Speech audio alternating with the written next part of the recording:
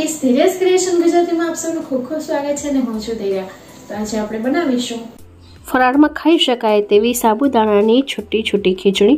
આ ખીચડી બનાવવા માટે કોઈપણ વાટકી કે કપની મદદથી આપણે સાબુદાણા લઈ લેવાના છે.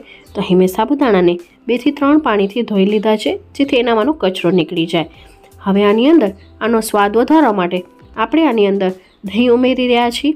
ખાટું દહીં ઉમેરવાથી ખીચડીનો ટેસ્ટ ખૂબ જ સરસ આવે છે. એ ચટાકેદાર બને છે. તો અહીં અત્યારે આપણે ત્રણ ટેબલ સ્પૂન જેટલું દહીં નાખી રહ્યા છીએ. જો તમારા ઘરમાં દહીં ન હોય તો તમે છાશનો પણ ઉપયોગ કરી શકો છો. તો આ દહીં કે છાશ કેવી લેવી? જેવી આપણે કઢીમાં વાપરતા હોઈએ છીએ, સેજ ખટુંબડી.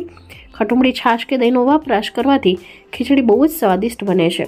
હવે ચમચીની મદદથી આપણે સેજ મિક્સ કરી લઈશું અને હવે આની અંદર આપણે થોડુંક પાણી ઉમેરીશું. તો પાણી કેટલું ઉમેરવાનું છે? જેટલા સાબુદાણા ડૂબે એટલું જ ઉમેરવાનું છે. તો તમે અહીં જોઈ શકો છો, થોડું પાણી નાખી રહીશું. ફરી પાછું આપણે ચમચીથી મિક્સ કરી લઈશું. એટલે એક લેવલ આવી જાય. તો હજી અમુક જગ્યાએ સાબુદાણા કોરા છે. તો ફરી પાછું આપણે બે ચમચી જેટલું પાણી નાખીશું. તો આવી રીતે સાબુદાણા ડૂબે એટલું આપણે પાણી નાખવાનું છે અને ઢાંકણ ઢાંકીને આપણે આને ઓવરનાઇટ સોક કરવા માટે મૂકી દેશું. જો સવારે તમે ખાવાના હો, તો રાત્રે પલાળી નાખવાના અને સાંજે ખાવાનો હો, તો સવારે પલાળી નાખવાના. આ રીતે ઢાંકણ ઢાંકીને આપણે હવે સાબુદાણાને પલળવા માટે મૂકી દઈશું સાબુદાણા જ્યારે છાશ કે દહીંમાં પલળે છે, ત્યારે વધુ સ્વાદિષ્ટ લાગે છે. હવે જ્યાં સુધી આપણે સાબુદાણા પલળે છે, ત્યાં સુધી આપણે બીજી પ્રોસેસ કરી લઈશું.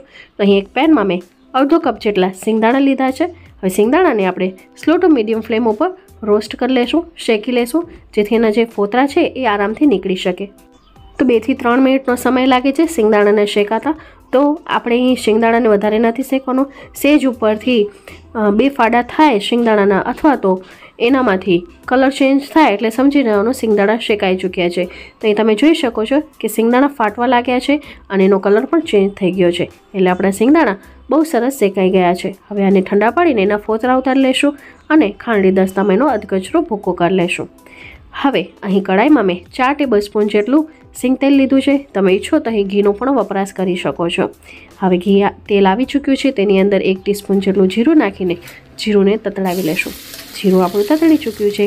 તો બે મોટી સાઇઝના બટેટાને મેં બાફીને લીધા છે, જેને રફલી ટુકડાઓમાં કટ કરી લીધા છે. હવે આને આપણે સેજ તેલમાં સાંતળીશું એટલે જે તેલની જે કોટિંગ છે, એક લેયર બની જશે બટેટા ઉપર. સેજ બ્રાઉન કલર આવી જશે, જે ખાવામાં વધારે સ્વાદિષ્ટ લાગે છે. આઠથી દસ લીમડાના પાન નાખી દઈશું આ સમયે લીમડાના પાન નાખવાથી લીમડાના પાનની સુગંધ ખીચડીમાં ખૂબ જ સરસ આવે છે. તો આવી રીતે એકથી બે મિનિટ સુધી આપણે તેલમાં જ બટેટાને સાતડીશું. તમે ઈચ્છો તો અહીં કાચા બટેટાનો પણ ઉપયોગ કરી શકો છો. તો મેં અહીં બાફીને બટેટા લીધા છે, જેથી આપણી પ્રોસેસ છે એ ફટાફટ થઈ જાય. તો તમે જોઈ શકો છો, સાઈડમાંથી સેજ સેજ બટેટા બ્રાઉન થવા લાગ્યા છે. હજી આપણે એને વધારે બ્રાઉન કરીશું. તો જ્યાં સુધી બટેટા આપણા સતળાય છે, ત્યાં સુધી આપણે સાબુદાણાને જોઈ લેશું. તો તમે જોઈ શકો છો, એકદમ પરફેક્ટ માપ સાથે આપણે દહીંને પાણીનું પ્રમાણ નાખ્યું હતું અને એક એક દાણો અત્યારે આપણો છૂટો થયો છે. બિલકુલ પણ ચિકાશ નથી. સાબુદાણા બધું દહીં અને પાણી પી ચૂક્યા છે અને દાણો જોઈને જ તમને ખ્યાલ પડી જતો હશે કે આ સાબુદાણાની ખીચડી આપણી ડ્રાય બનવાની છે, ચીકણી નથી બનવાની અને એક એક એક દાણો એનો છૂટો છે. આવી રીતે દબાવતા જોઈ લીધું છે આપણે કે સાબુદાણા ચડી ચૂક્યા છે. હવે તમે એ જોઈ શકો છો, બટેટા સેજ બ્રાઉન રંગના થઈ ચૂક્યા છે. તો તીખાસ માટે આપણે એક લીલું મરચું નાખ્યું છે અને એક નાની સાઇઝનું ટામેટાને ઝીણું સમારીને લીધું છે. આ રેસીપીમાં જો તમે કોઈ પણ વસ્તુ ન ખાતા હો તો તમે એને સ્કીપ કરી શકો છો. અમારે ત્યાં બધી વસ્તુ ખવાય છે એટલે મેં એનો વપરાશ કર્યો છે. હવે આ સમયે એની અંદર આપણે સિંધવ મીઠું નાખી દઈશું, એટલે કે વ્રતનું મીઠું નાખી દઈશું. જો તમે રેગ્યુલર મીઠું ખાતા હો તો એ પણ નાખી શકો છો. સારી રીતે ચલાવી લેશું, જેથી ટમેટા છે એ ફટાફટ ઘડી જાય. હવે તમે જોઈ શકો છો, ટમેટા આપણા સેજ નરમ પડી ચૂક્યા છે. તો હવે આ સમયે આપણે બધા મસાલા કરી લઈશું અને આ જે નીચે બટેટાનું જે પડ ચોટું છે, એને સ્ક્રેપ કરીને કાઢી લેવું. એનો સ્વાદ ખૂબ જ સરસ લાગે છે. હાફ ટીસ્પૂન જેટલી હળદર પાવડર નાખી છે, એક ટીસ્પૂન જેટલું કશ્મીર લાલ મરચું પાવડર નાખ્યું છે. દસથી બાર દાણા મરીના જેને ખાંડડી દસ્તામાં કચરા વાટી લીધા છે, એ નાખ્યા છે.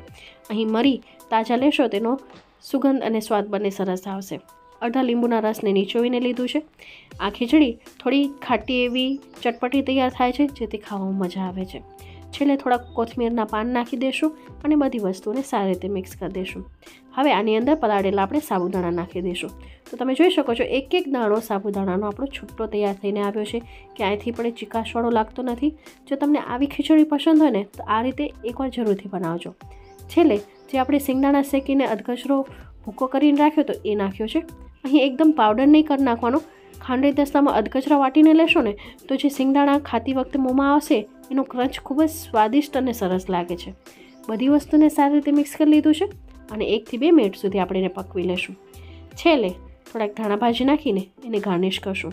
તમે છો તાનામાં દાડમના દાણા નાખી શકો છો, કિસમિસ નાખી શકો છો, કાજુ નાખી શકો છો અને કાળી દ્રાસનો પણ ઉપયોગ કરી શકો છો.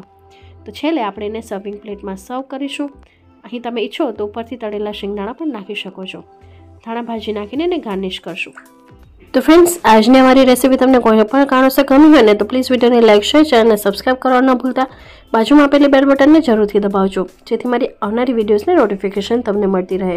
હું ફરી મળીશ હજી એક નવી રેસીપી સાથે. ત્યાં સુધી આવજો bye bye take care thanks for watching